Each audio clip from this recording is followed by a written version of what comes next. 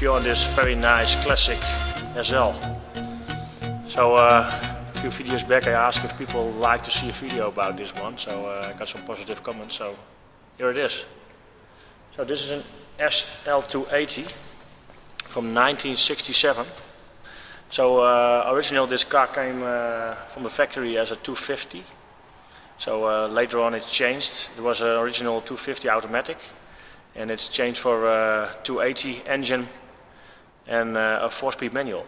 So uh, these days I think a 250 is more uh, even more worth than, than, this particular now because an SL250 is only built in 1967. So it's more rare than this particular car. But besides that, this one is in really, really nice condition. It's uh, restored in 2003, so it's only driven after it uh, 2,000 kilometers. Painted back in signal red, it's just, uh, looks like new everywhere. It's just, it's very nice, classic look. So uh, why is this particular car called a pagoda? So uh, that's because of the roof. The hardtop roof is over here. That is because of the shape of this roof. So it's a it's a hardtop uh, roof. It's got also got a soft top. So as you can see, this particular car has a, like a shaped roof, like a Japanese uh, pagoda roof. That's why these particular cars had had that name. So it's fully steel, glass windows in it, wood trimming. Yeah. Very nice. So this car could only also be driven in cold weather and weather conditions. So this particular model is also uh, delivered with a soft top. That's underneath here. So there's just a handle over here. You can open it. And then you can uh, get a soft top out. So uh, not all those cars were delivered with, uh, with a soft top. You also got, uh, it's also called a California model. That was a, an SL280 2 plus 2. That was uh, delivered without a soft top and only with a hard top. And then there was a little small rear seat in here.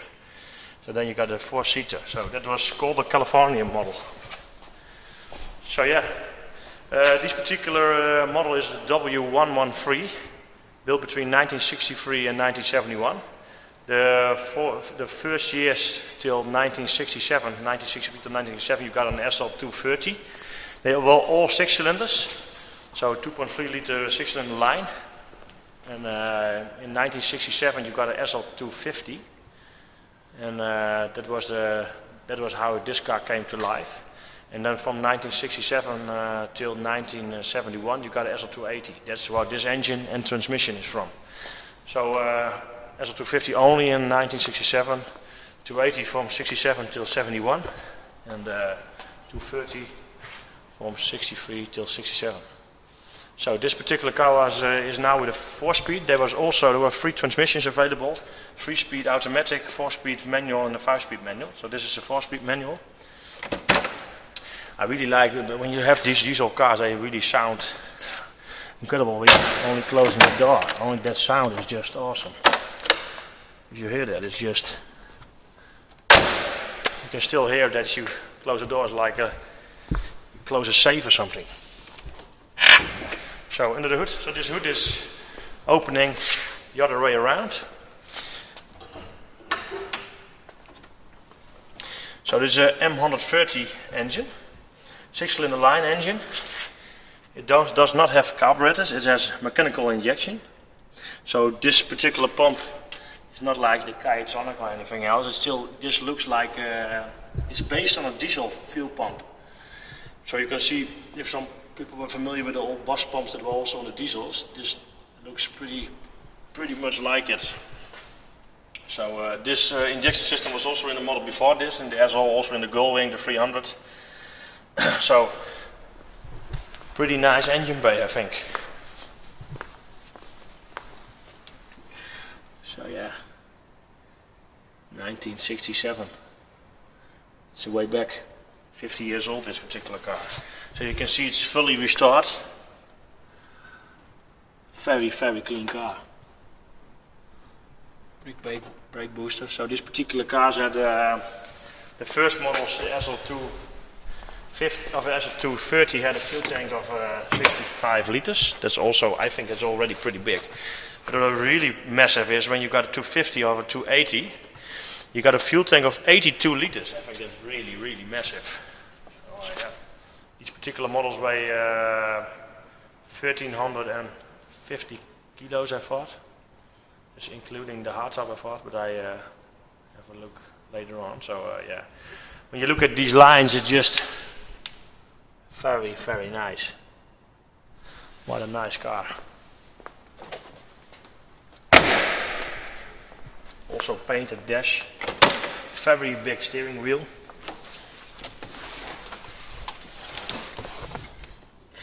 So these uh, cars had a top speed of 200 kilometers an hour.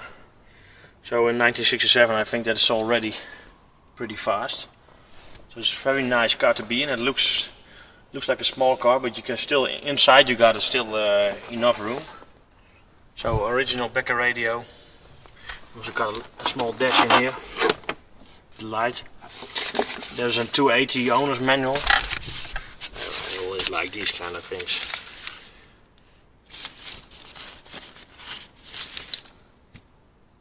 Nice, that sort of stuff. Steel dash. All, all steel and painted. Very nice. So, I think we should have a test drive in this. Very nice classic car. It's very good weather for it, so uh, I think we'll keep the roof the roof off and I hope you can hear me when I'm driving.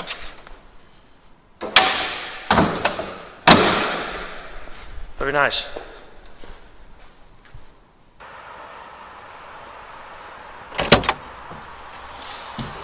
Oh, this car looks so good. This is going to be a very nice ride. Very nice hip belt in here. 1967 I thought seat belts were not uh, needed. I think they were just optional to use them, but uh, better to use them of course.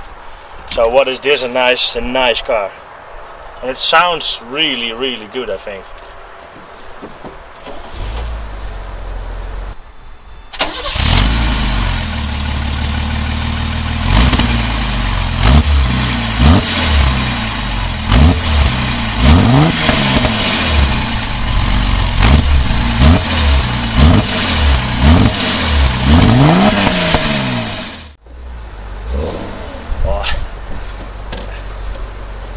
Make me happy with something like this.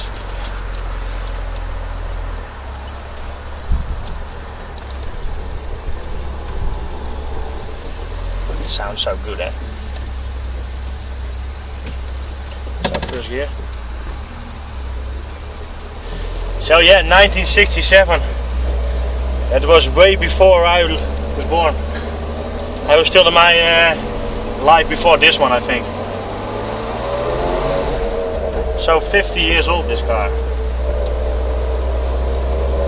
Sounds sounds really really nice. I hope you can hear me because we got under the roof open of course.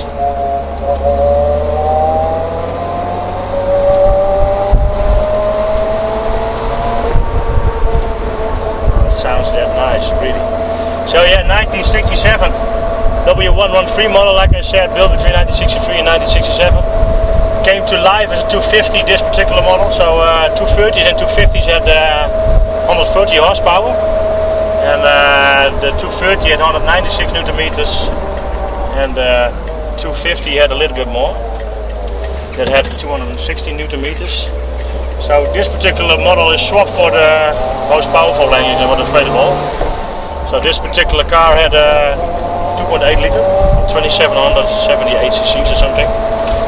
So uh, it has uh, 170 horsepower and 240 newton meters. So this particular car weighs 1360 uh, kilos. And um, with the hardtop on, there's 94 kilos uh, with it. So it weighs then 1409 kilos. So if you got 230 or 250, it's 60 kilos less. But the hardtop is also weighing 39 kilos. Sounds pretty nice.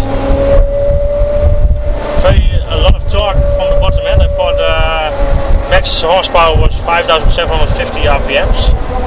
Max torque, have a look. I got also as speak uh, uh 4,500 RPMs. Look got max torque.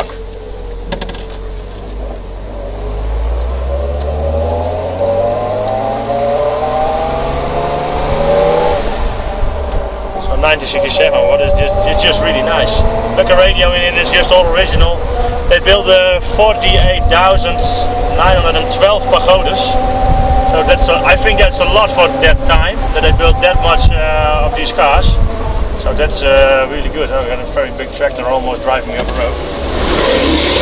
Cannot have that in this very expensive classic. So the transmission is a little bit, yeah, it's, it's but you're not used to cars like these days. You have to search a little bit for, for the gears. From 1 to 2 is good, from 3 to 4 also, but from 2 to 3 you have, it's a bit, a little bit roomy, but uh, I think that's just the time, so. Yeah, there's not that much wind uh, catching you that I thought it would, because we don't have a window in here, or uh, how you say that, the windscreen. So, uh, it's just awesome. So like I said, also the classics from, uh, I call it the California model, it was 2 plus 2. This way. So that had a had a rear seat.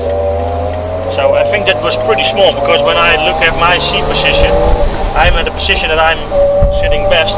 There's not much, there's no room in here, so you had two seats in here.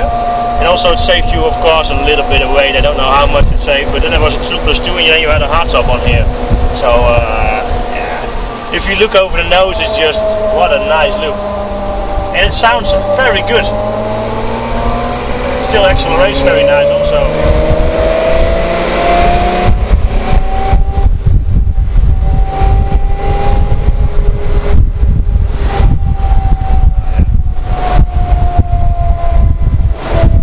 This is just very nice. So this particular car, I don't know if I mentioned it, but it's for sale at passioncar.de. Think this is the oldest SL they have for sale. There is a really, uh, really good place to go for uh, looking for an SL. So this is a 113. They also had uh, the R107 that came here after this one, and they uh, they also have an R107 SL300 that has only done 850 kilometers. That's really low. So this particular car is 2439 kilometers. So I don't know what the original was, but uh, this is the, the kilometers that it drove after uh, it's been restored in 2003. So it's fully restored. So if you want to see more uh, about the SLs, have a look on the website. They are really, uh, really good dealer for R129s. That's the most car they have for sale there, of course. So yeah, it's just what a joy to drive. Nice old horn.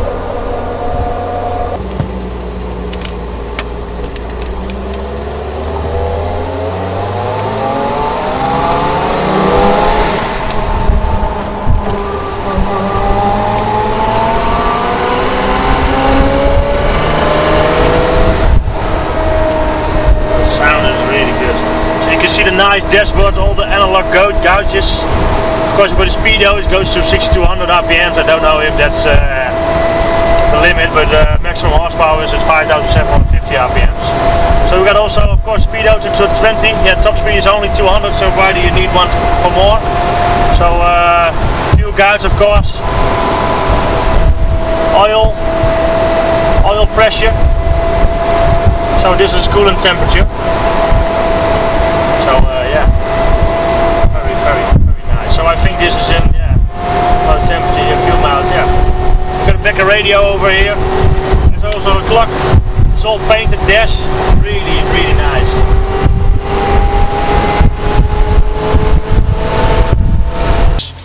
So let's close the soft top. I'm going to open the windows a little bit, both sides. Here's a handle, like I showed you before. Put this one up. Pull it up. I can get this. Yeah.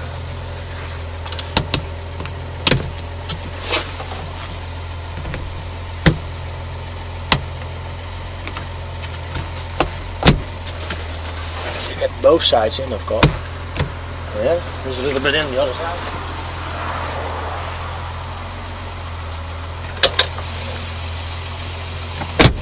Yeah.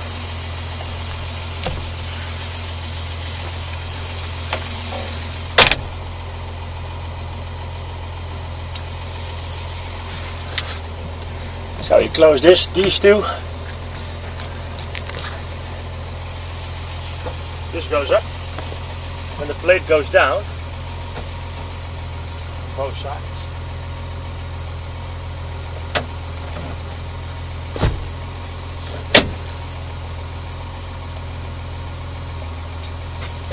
Yes. Then close this one again. Only has one in the middle. That's.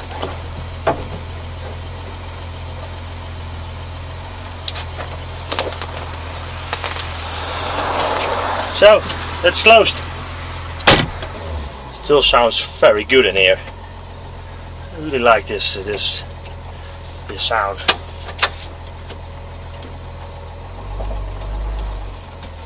Yeah, you back?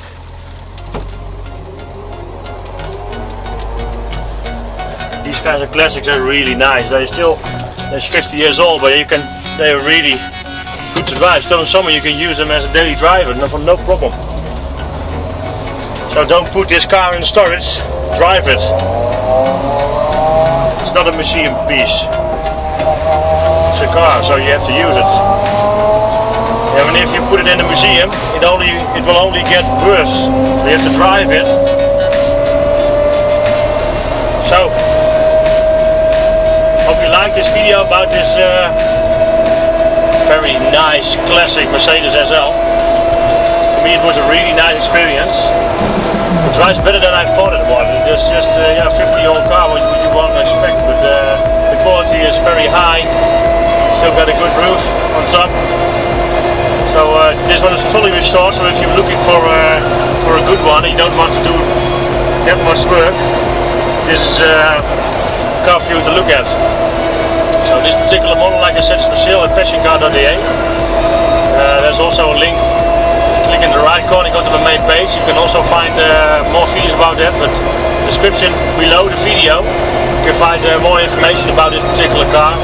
Also a link to the website of passioncar.de where this particular car is for sale, so have a look there. Uh, don't forget to subscribe to my channel, right corner button, my logo. Don't forget to subscribe and uh, see you next time. Bye bye.